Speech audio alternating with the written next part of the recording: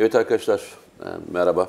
Kolay gelsin, iyi günler diyelim. Geçen hafta diyeceksiniz ki her şey aynı şeyi tekrarlıyor.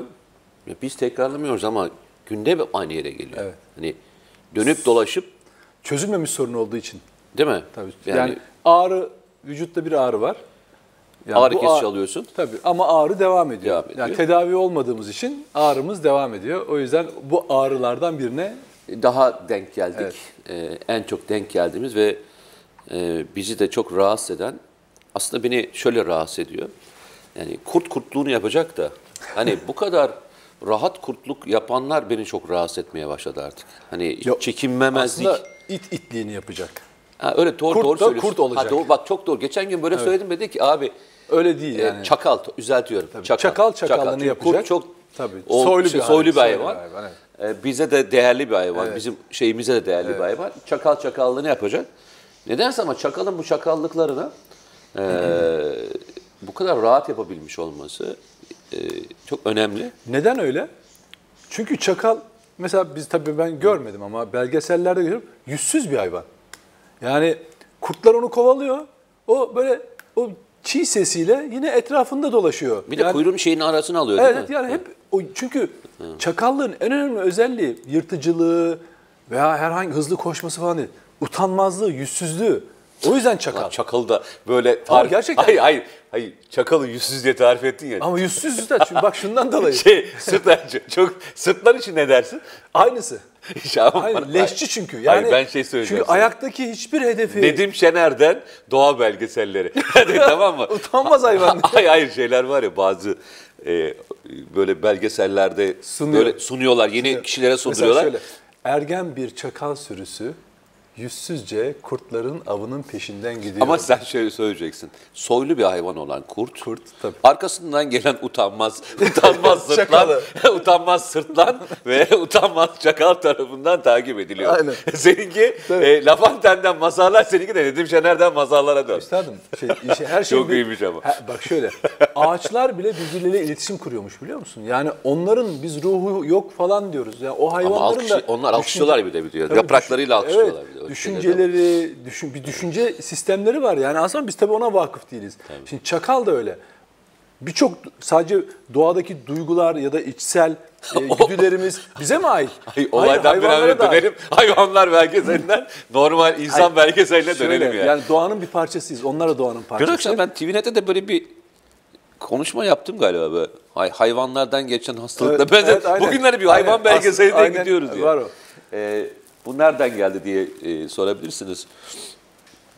İki günden beri bir şey, bir şeyi tamamlayayım. Ha, söyle. Yani utanmazlığı nereden? Şöyle. Ayaktaki bir hedefi yani yemek istediği bir başka hayvana doğrudan saldırmıyor. Onu ona saldırmış, onu yiyecek noktasına getirmiş bir hayvanın arkasından bıraktıklarına veya onu oradan elimine ederek kendi yemeye çalışıyor. Yani hazırcı. Veya şeyden utanmaz- de e, gruptan önce kopartıyorlar. Tabii. Yani ve şeyi e, saldıran ana hayvan neyse yani e, hedefe yönelen hayvan neyse onun da taarruzlarına karşı hiç şey yapmıyor. istifini bozmuyor. Biraz dağılıyorlar. Tekrar toplaşıp o şeyin peşine geliyorlar. Yiyeceğin peşine geliyorlar. Yani böyle de utanmaz demek istediğim bu. izleyicinin kafasına yanlış bir şey kalmasın. Peki, yani tamam. utanmazı oraya oturtuyorum. Okey. Ee, buradan Rand Corporation'a geliyoruz. Nasıl geldiğimizi daha sonra belgeselin içindeki ikinci bölümde anlatacağız. Rand Corporation bir e, Amerika'daki bir düşünce kuruluşu diyebiliriz. Hani öyle hadi söyleyelim, adını öyle söyleyelim.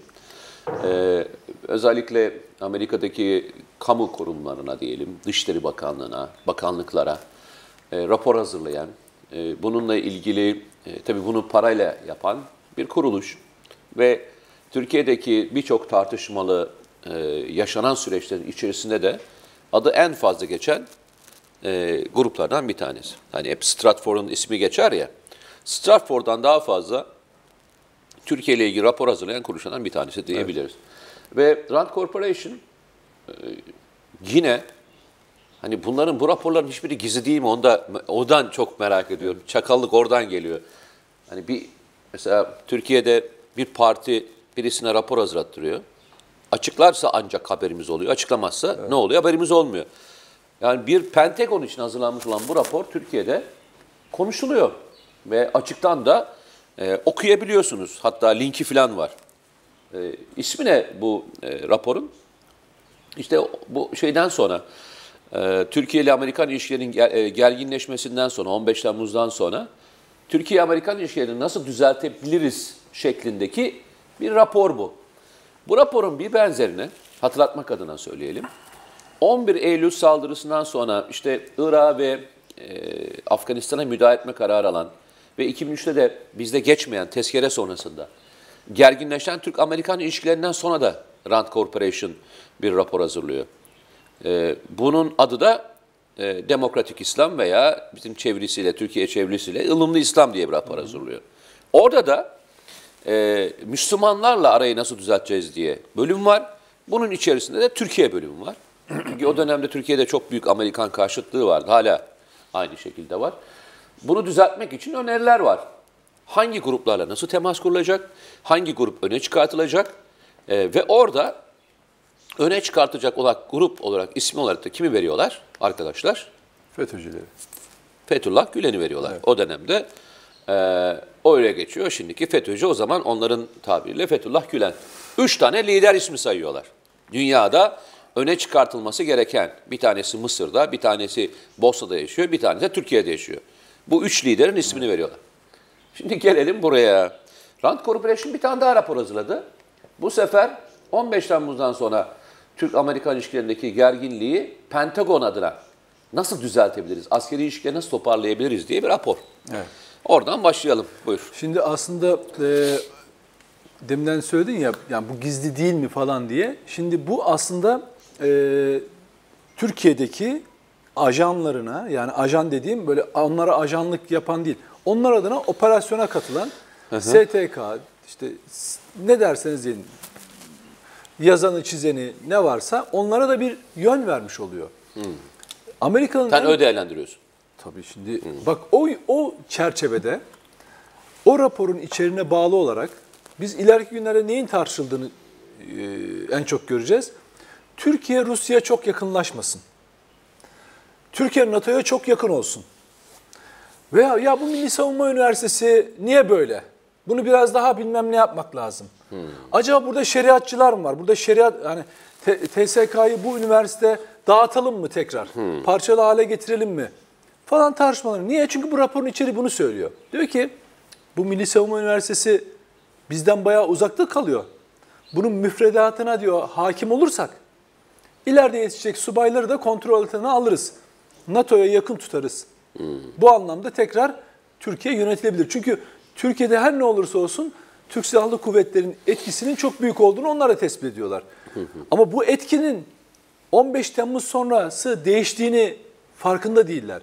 Onlar hala aslında soğuk savaş kafasıyla evet silahlı bir güç, e, etkili ama Türk Silahlı Kuvvetlerine duyulan güven tamamen ordunun Mehmetçik diye sahiplenilmesi kendinin bir parçası olarak görmesinden kaynaklanıyor. Öyle olmayaydı zaten. Yani Türk halkı bu ayrımda olmamış olsaydı 15 Temmuz gecesi kayıtsız şartsız TS, o askerleri gördüğü zaman teslim olurdu. Ama 15 Temmuz neyi gösterdi?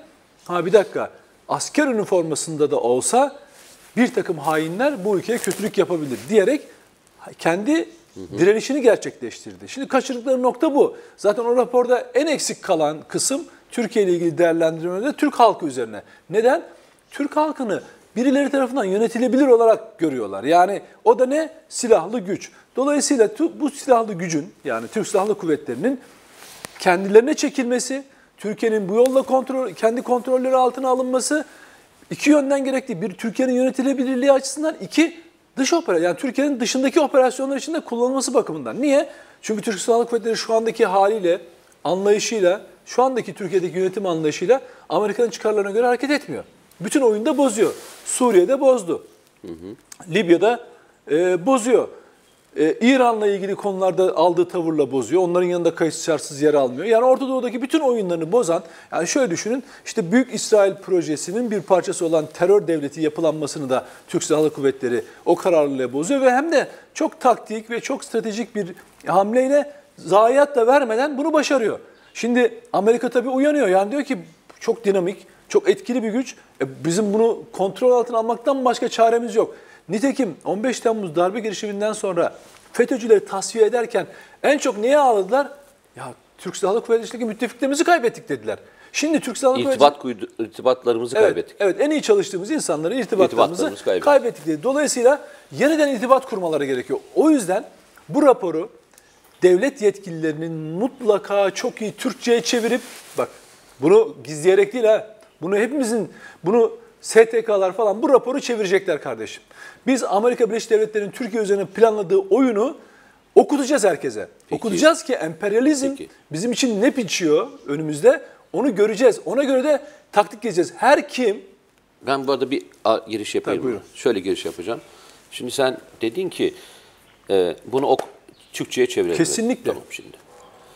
E, bu ılımlı İslam raporunu e, 2000'li yılların ortasından itibaren e, 2006 yılıydı yanlış hatırlamıyorum. 2000 ya da 2005 yılı olabilir bu Rand Corporation'ın ilk e, raporu. E, Türkiye Türkçe'de birçok insan yazdı. Ben de yazanlardan bir tanesiyim. Evet. İlk yazanlardan bir tanesiyim ve oradaki planın içinde söylüyor yani ordunun zayıflatılması dahil olmak. Ondan sonra zaten şeyler başlıyor.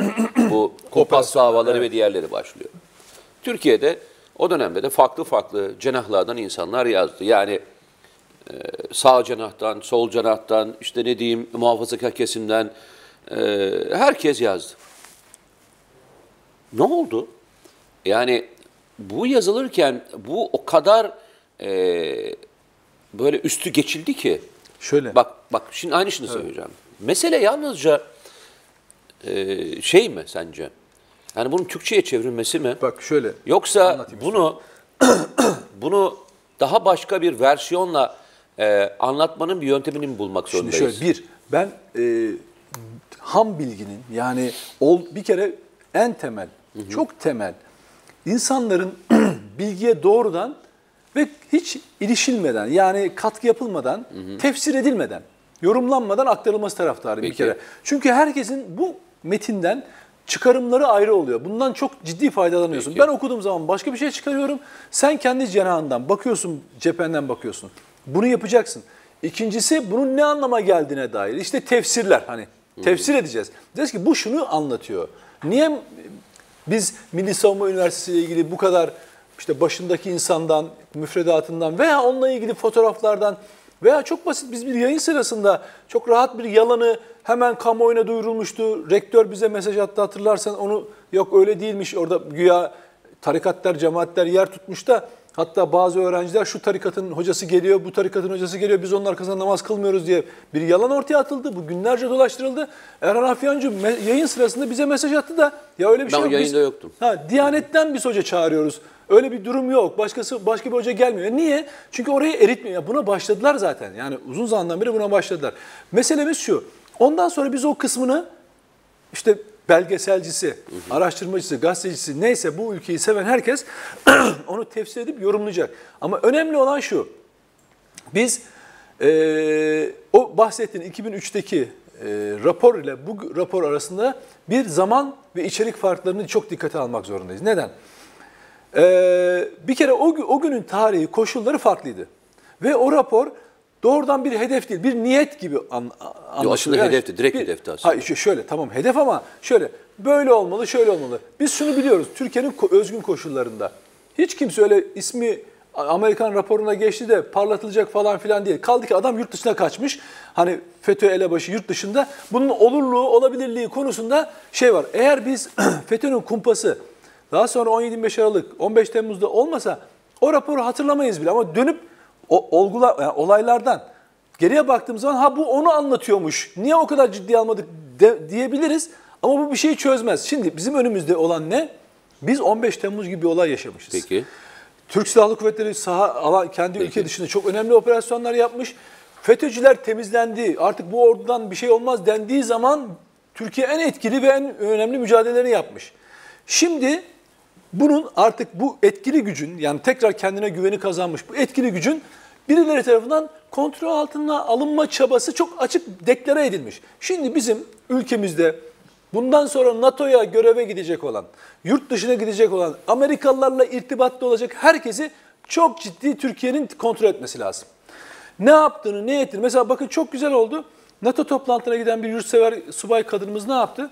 Orada Cumhurbaşkanı Erdoğan'ı hedef gösteren güya sanal bir tatbikatta tak bunu deşifre etti ve şeyi e, boy e, protesto edip ülkeye döndü değil mi? Yani o şekilde bir mi- ulusal hassasiyeti, ülke sev- severliği yüksek subayları yetiştirip e, onların gitmesi ve her anda karşı taraftan size bu yönlü tekliflerin geleceğini, sizi kandıracaklarını, satın alacaklarını söyleyerek o insanları da bu eğitimin parçası haline getirmek lazım. bu askeriye için geçerli. Hatta Tamam. şöyle, hatta bunu bu raporun çevirisini böyle bak kardeşim düşmanın taktik planı bu. Buna göre çalışacaksınız. Bak ne diyor adam? Sizin müfredatınıza saldıracak.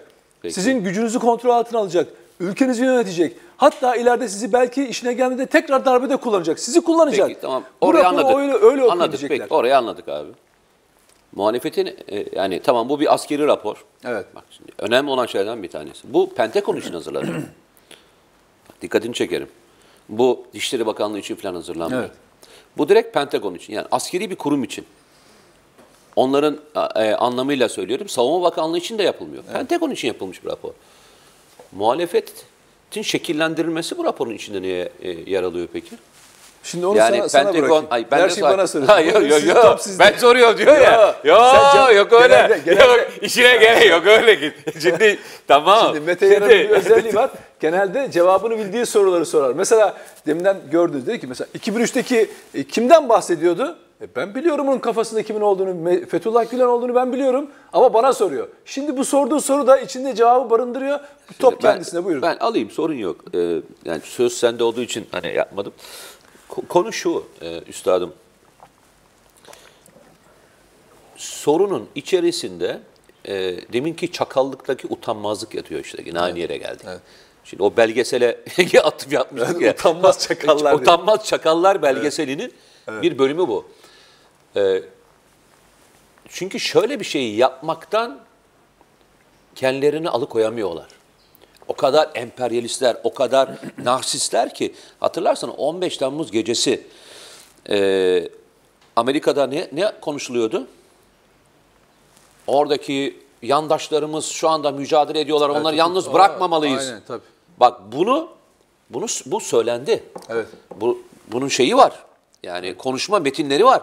Görüntüleri var. Şey falan değil bu yani. Arkasından senin dediğin gibi ne söyledi? Kendi irtibat kurduğumuz güvenilir elemanlarımızı kaybettik. Ya şimdi Pentagon ne zamandan beri generaller üzerinden Türkiye'de e, askeriyle e, irtibat kuruyor? Yani normalde Genelkurmay Başkanı'nı ararsın. Tabii. Yani sen direkt Arçip Tugener'le falan mı görüşüyordun? Albay'la falan mı görüşüyorsun? Yani nasıl bir irtibat? Hani hangi ah bak ahlaksızlığın deşifrasyonunu böyle yapacaksın. Sen ne irtibatın var kardeş? Hani hayırdır birbirinize samimiyetiniz olur da Evet. Pentagon'un samimiyeti nerede? Görev bağlamındaki Hani şahıslar birbirini tanırlar. Vardır öyle çünkü. NATO'da beraber çalışmışlar. Hala görüşürsün. Baba bu ne bu, bu ne samimiyet? Ve bu samimiyeti bu kadar net söyleyebilmenin utanmazlığı bu. İşte aynı utanmazlık orada da başlıyor. Muhalefeti şekillendirir, muhalefeti dizayn edip bugünkü iktidarla çalışamayacaklarını söyleyip yeni gelecek muhalefetle beraber o eski sisteme dönmeyi arzu ediyorlar. Ve bunu burada söylüyorlar. Evet. Bir, muhalefeti töhmet altına bırakıyorlar. Evet. Bak işin ilginç tarafı bundan çekinmiyorlar bak hani bundan çekinmiyorlar. Hani muhalefete biz böyle bir şey atarsak bunun e, artı veya eksi sonuçlar olacağını hiç umursamıyor adam. Bunu bir direktif olarak söyleyebiliyor. İki, bunu Pentagon'a söylediğinde Türkiye'de şöyle bir yansıma olacağını da umursamıyor adam. Ya arkadaşlar ne zamandan beri e, Amerikan ordusu Türkiye'deki e, muhalefeti şekillendirme görevi verilmiş. Bundan da çekinmiyorlar. Evet. Çünkü bu resmen e, Amerika'da e, yasak olan bir şey. Yani Amerikan senatosu darbeyi yasaklıyor. Darbe yapmayı başka bir ülkede. Öyle mi? Bak bunu yeni duyuyorum. Senatonun iki tane yasağı var. Öyle? Başka bir ülkede darbe yapmak. İki, bak iki çok daha çok güleceksin. Ee, bir e, ülkedeki darbe yapmayın önünü açabilecek olan silahlı gruplara e, silah sevkiyatı yapmak. Gülcen yine PYD meselesi gibi. Evet. Tamam mı? Terör örgütlerine silah sevkiyat yapamazsın. Amerika Senatosu'nun işte Oliver North'un e, yargılanma süreci bu yüzdendir. Iran Gate diye konuşuruz ama asıl Nikaragua'daki e, oyundan dolayı yargılanmışlardır. Yoksa İran Gate onlar için çok yargılanacakları bir süreç değildi. Bu iki tane konuda bu kadar açık ve net e, talimat verir gibi e, öneriler sunabiliyorsun. Bu öneriyi Rand Corporation'daki adamlar suna, sunabiliyorlarsa, çünkü onlar aynı zamanda eski askerler, eski istihbaratçılardan falan oluşuyor. Çünkü 10 kişilik bir ekip Türkiye'ye geliyor. İşin ilginç tarafı da o. Bu adamlar Türkiye'de kimlerle konuşuyorlar? Asıl bence araştırılması gereken konu bu. Şimdi Bu Rand Corporation uzmanları Evet. 10 kişi Türkiye'ye geldiğinde hangi gazetecilerle, hangi uzmanlarla, hangi enstrümanlarla, hangi yetkililerle görüşüp bu raporu hazırlayıp geri döndüler. Bak bunun bir tarafı o taraf. İkincisi bu. Muhalefeti şekillendirme görevi. Savunma Bakanı ile irtibatın sürdürülmesi görevi. İşte ne diyeyim, eee NATO'yu tekrar önemsetecek olan konuları gündeme getirilmesi. Rusya ile Türkiye ve İran'la eee, Türkiye arasındaki çıkacak olan çatışma alanlarının altlarının teker teker çizilmiş olması. Yani bu aslında bir tarafında baktığında bir tavsiye ama aslında bir baktığında bir yol haritası. Bu yol haritasının içerisinde tuzaklar da var, kendi içinde şeyler de var. Benim hani e, önemsediğim, e, senin de e, sıklıkla bahsettiğin ve hatırlarsan zaman zaman da e, bize hatırlattığın bazı şeyler var. Bunlardan bir tanesine unutmamak, unutmamak. E, ikincisi de yine e, sıklıkla söylüyorsun, e, hazır olmak. Bak, unutmamak başka bir kavramdır. O unutmadığından bir eylem planı çıkartıp ona göre hazırlığını yapmaktır. Bu Rand Corporation'ın bu raporunu e, geçmiş hafızamı tazelemek anlamında kullanıyorum ben. Ama başka bir şey daha için kullanıyorum. Bundan sonra başımıza ne geleceğini düşünerek de konuşuyorum. Tabii. O- Çünkü bir öncekinde bir öncesinde zaten darbeye giden yolun taşları döşenmişti. Evet. Peki bunun arkasından döşenecek yollar nedir diye bana sorarsan ben okumamı söyleyeyim sana.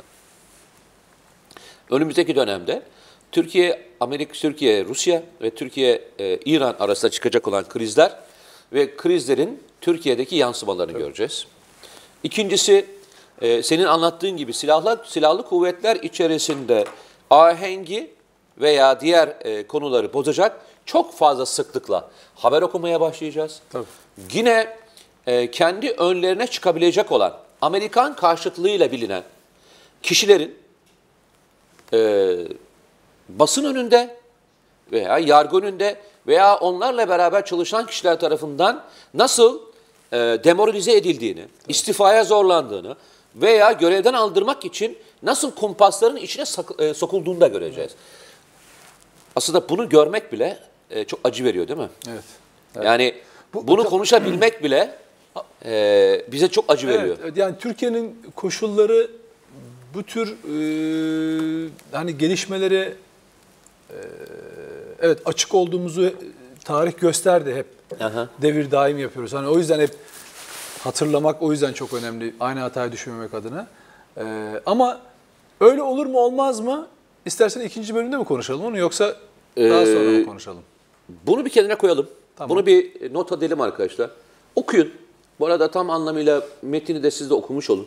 Yani Ee, Süper Haber'e görev verelim oradan. İnternet sitesinden bol bol rank, rank- Şöyle, bakın tehlike ne olursa olsun, hani ne kadar büyük olursa olsun demiyorum. Tehlike ne olursa olsun, gözünüzde büyütmeyin bir.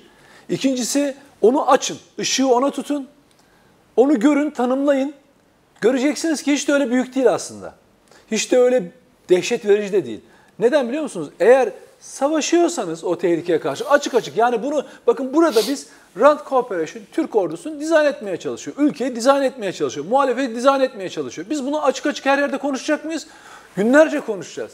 Buna ilişkin bütün önümüze çıkan doneleri, örnekleri size sergileyecek miyse o zaman ne oluyor biliyor musunuz? Çakal ne, ne zaman korkuyor? Çakalın gözüne ışığı tuttuğun zaman tam, çakal oraya, tam oraya gelecektim. çakal kaçıyor. Ben de ben de oradan şeye gelecektim. Ee, Adamlar kısa farla gelirken uzun farı yaktılar. Evet. Bizim yapacağımız da ne arkadaşlar? uzun farın yanına bir de sis farını yakmak. Evet. Çakallar kaçsın. Arkadaşlar biz sizi siz bizi görüyordunuz ya. Biz de sizi görüyoruz. Bu tür mesajları veren e, gruplara yapılacak en güzel şey Tabii. ışığı Olabildiği tutmak. kadar güçlü vermek. Güçlü projektör. Elinizde ne varsa. Lambanız mı var? Neyiniz var? Önemli değil. Yakın arkadaşlar. Biz de sizi gördük. Evet. Yani bu laf çok önemlidir. Çakala e, ışık tutalım. Evet. gözüne gözüne. Evet. Bir hayvan hayvan belgeseli daha. Yok gerçekten sana National Geographic'ten bir e, teklif gelmesini istiyorum. ben geçen hafta da başka bir belgesel Şey, anlattım. Biliyorsun değil mi o hay- belgeseli? Neydi? E, şu e, maymun, ha, e, görmüştüm. geyik Evet. ve aslan hikayesi. Onu sen belgeselden anlatmıştın. Bu bi- bizim bir hayvan belgeseline doğru dönüyoruz yani yani. hayvan psikolojisi diye. Neyse hadi bakalım. Ee, Allah e, sizlere de e, gülmeye eksik etmesin diyelim. E, artık yani e, iş gülme noktasına doğru Ya getirdik gerçekten. Şey, yani şeyle e, olayların üzerine böyle olayı çözdüğünüz zaman olayın espri yönüne de değinebiliyorsunuz. Yani böyle hani ya Pentagon için bir rapor hazırlanmış, şöyle yapmış. Kardeşim bak bu ülkede şu anda 3-5 tezgah aynı anda yürütülüyor. PKK açılımı yapılmak isteniyor. Türkiye'yi değiştirmek, bölünmek isteniyor.